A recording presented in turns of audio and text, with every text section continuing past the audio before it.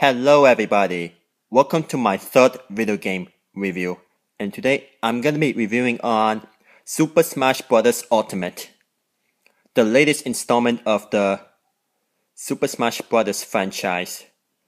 This game features the, all of the returning characters from the previous Smash Bros. games and along along with new additions including Inkling, Daisy, and Ridley.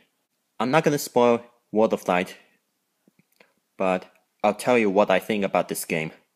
This game is fantastic.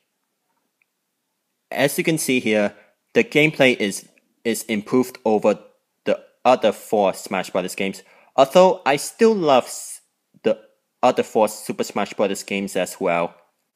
The larger cast of characters are absolutely amazing and the graphics are even better.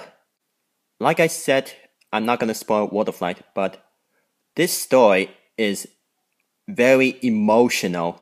Even the song Lifelight is sad but beautiful. The stages are completely well done. This is considered as the best Super Smash Bros. game ever. I give Super Smash Bros. Ultimate 5 stars out of 5. Fantastic.